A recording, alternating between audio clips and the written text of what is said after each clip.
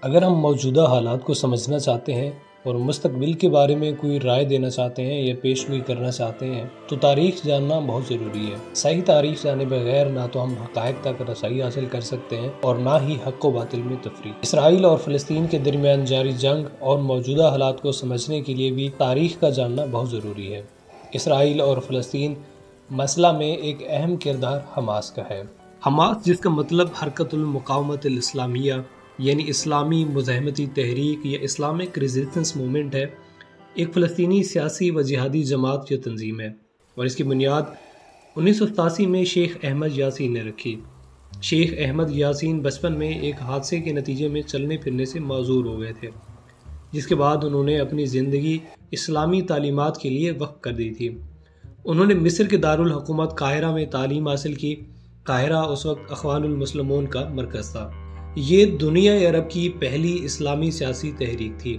Hamas کے قیام کی پندرہویں سالگرہ کے موقع پر ہونے والی ایک ریلی میں چالیس ہزار سے زائد افراد نے شرکت کی تھی۔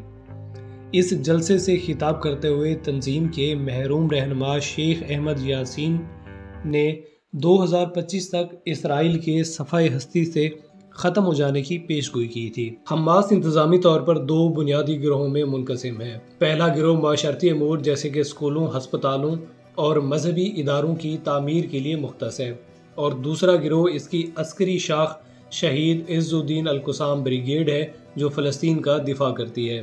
جس وقت پہلی جنگ عظیم ہوئی، انگریزوں نے یہودیوں کو فلسطین میں بسنے کا موقع دیا۔ اس عمل کے خلاف جد و جہد میں سب سے پہلی مسلح جد و جہد کرنے والے فرد شیخ عز الدین القسام ہے، جنہوں نے پہلے لیبیا میں اٹلی کے خلاف، پھر شام میں روس کے خلاف اور انیس سو اکتیس میں فلسطین میں انگریز اور یہودیوں کے خلاف اپنا محاذ کھولا۔ حماس نے اپنے اس عسکری ونگ کا نام شہید عز الدین القسام کے نام پر رکھا۔ کہا جاتا ہے کہ حماس کی ایک شاخ اردن میں بھی ہے، جہاں اس کے ایک رہنما خالد مشل کو اسرائیل نے متعدد بار قتل کرنے کی کوشش کی۔ شاہ حسین نے تو کسی نہ کسی طرح حماس کو برداشت کیے رکھا۔ البتہ ان کے جانشین شاہ عبداللہ دوئم، جس کی والدہ ایک انگریز عورت ہے، اس نے حماس کا ہیڈ کوارٹر بند کر دیا۔ اس کے بعد تنظیم کے بڑے رہنما قطر جلا وطن کر دیے گئے۔ اس خطے میں امریکی پشت پناہی سے قیام امن کی کوششوں کے سلسلے میں ہونے والے عمل اوسلو معاہدے کی مخالفت میں حماس پیش پیش تھی۔ اس معاہدے میں فلسطین کی جانب سے اسرائیلی ریاست کے تحفظ کی یقین دہانی کے بعد اسرائیل کا مقبوضہ علاقوں سے جزوی اور مرحلہ وار انخلاء شامل تھا۔ انیس سو پچانوے میں حماس نے اپنے ایک بم بنانے والے کارکن یاہیا عیاش کے اسرائیل کے ہاتھوں قتل ہونے کے بعد فروری اور مارچ انیس سو چھیانوے کے دوران بسوں کو خودکش حملوں کا نشانہ بنایا۔ یاہیا عیاش بنیادی طور پر انجینئر اور عز الدین القسام بریگیڈ کی کارروائیوں میں جدت لانے والا گوریلا کمانڈر تھا۔ اس کمانڈر کو اسرائیلی مہندس الموت یعنی موت کا انجینئر کے نام سے یاد کرتے ہیں۔ ان خودکش حملوں کے بعد اسرائیل نے امن کے منصوبے پر عمل درآمد روک دیا اور اس کے بعد اسرائیل کے قدامت پسند رہنما بن یامین نیتن یاہو نے انتخابات میں کامیابی حاصل کی۔ اور یہ اوسلو معاہدے کے مخالفوں میں سے ایک ہے۔ حماس نے مہاجرین کے کیمپوں اور گاؤں میں شفاخانے اور سکول قائم کیے، جہاں فلسطینیوں کا علاج کیا جاتا فلسطینی پی این اے کی بدعنوان اور نااہل حکومت سے مایوس ہو چکے تھے اور ان کی اکثریت نے حماس کے خودکش حملوں پر خوشی کا اظہار کیا اور ان خودکش حملوں کو اسرائیل سے انتقام لینے کا سب سے بہتر راستہ جانا۔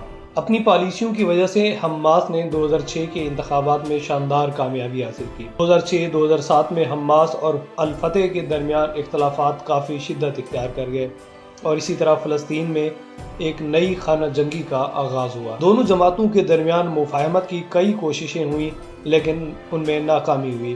آخرکار صدر محمود عباس نے، جن کا تعلق الفتح سے ہے، جون دو ہزار سات میں حماس کی جمہوری حکومت کو توڑ کر اپنی خود ساختہ کابینہ اور وزیر اعظم کا اعلان کر دیا۔ ایسے کرتے وقت محمود محمود عباس کو امریکہ اور اسرائیل دونوں کی حمایت حاصل تھی۔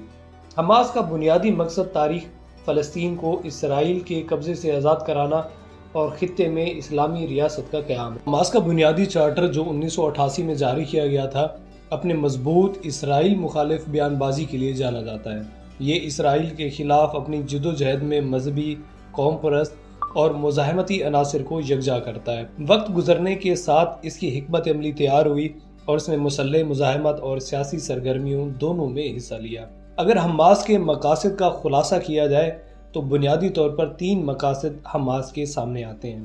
سب سے پہلے اسرائیلی قبضے کا خاتمہ۔ حماس مغربی کنارے غزہ کی پٹی اور مشرقی یروشلم سمیت فلسطینی علاقوں سے اسرائیل کا مکمل انخلا چاہتی ہے۔ دوسرے نمبر پر اسرائیل کے خلاف مزاحمت۔ حماس اسرائیلی اقدامات کے خلاف مزاحمت کرنے اور فلسطینی مفادات کے تحفظ کے لیے مسلح اور عدم تشدد دونوں طریقوں کو استعمال کرتی ہے۔ اور نمبر تین، اسلامی ریاست کا قیام۔ حماس کا مقصد خطے میں ایک اسلامی ریاست بنانا ہے۔ جو اس کے اسلامی نظریات کے مطابق ہو۔ حماس کے بارے میں بین الاقوامی برادری کا موقف منقسم ہے۔ زیادہ تر سیاسی اور علاقائی عوامل پر منحصر ہے۔ کچھ ممالک اور ادارے حماس کی حمایت کرتے ہیں، جبکہ کچھ اسے دہشت گرد تنظیم قرار دیتے ہیں۔ ایران حماس کا ایک اہم حامی رہا ہے۔ مالی، فوجی اور سیاسی مدد فراہم کرتا ہے۔ اس حمایت نے حماس کی عسکری صلاحیتوں اور غزہ میں حکومت کرنے کی اس کی صلاحیت میں اہم کردار ادا کیا ہے قطر نے حماس کو مالی مدد فراہم کی ہے اور اس کے رہنماؤں کو دوحہ سے کام کرنے کی اجازت دی ہے۔ اسی طرح سے ترکی نے حماس کے ساتھ سفارتی اور سیاسی تعلقات برقرار رکھے ہیں۔ تنظیم اور دیگر بین الاقوامی اداروں کے درمیان بات چیت کی سہولت فراہم کی ہے، جبکہ اسرائیل امریکہ اور یورپی یونین کے ساتھ مل کر حماس کو دہشت گرد تنظیم قرار دیتا ہے۔ اسرائیل نے اکثر اس درجہ بندی کی بنیاد پر خودکش بم دھماکوں اور راکٹ حملوں سمیت تشدد کے استعمال کا حوالہ دیا ہے۔ امریکہ حماس کو ایک غیر ملکی دہشت گرد تنظیم سمجھتا ہے اور جو اس گروپ سے وابستہ افراد یا اداروں کے ساتھ مالی لین دین اور تعاملات کو محدود کرتا ہے۔ یورپی یونین نے اپنی سیاسی قیادت کے ساتھ سفارتی تعلقات برقرار رکھتے ہوئے حماس کے عسکری ونگ کو دہشت گرد تنظیم قرار دیا ہے۔